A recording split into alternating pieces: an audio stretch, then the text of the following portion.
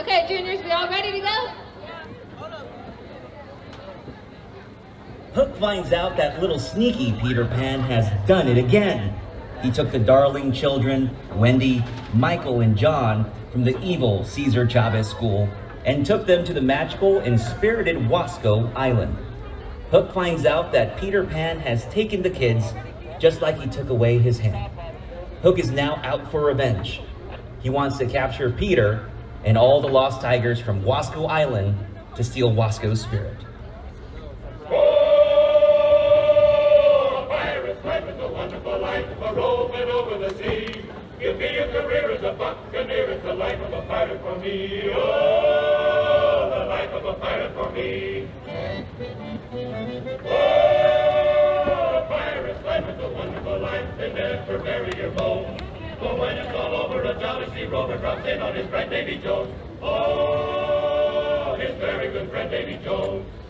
Blasted that Peter Pan. If I could only find his hideout, I'd trap him in his lair. But where is he? Is he in that stinky Shafter Cove? Or dirty Delano Lagoon?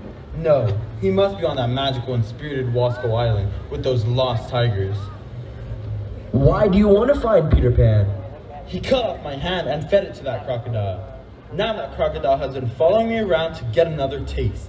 At least he also ate that clock, so you always know when he's around with the tick tock, tick tock. Look, there's Peter Pan now. And he's got the darling children too. All hands on deck! We've got him this time, Smee. Come on, Lost Tigers.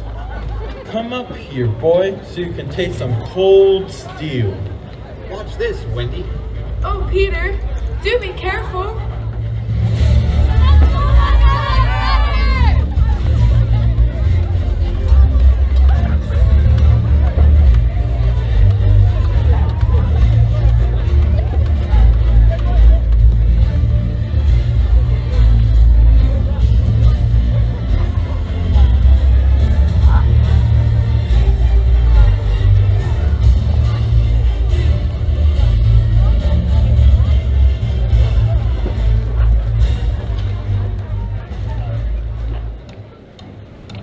Smee? What is that noise? Well, well, well.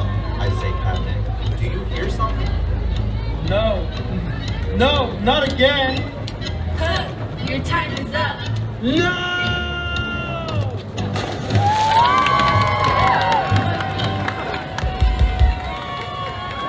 Hooray, Wasco.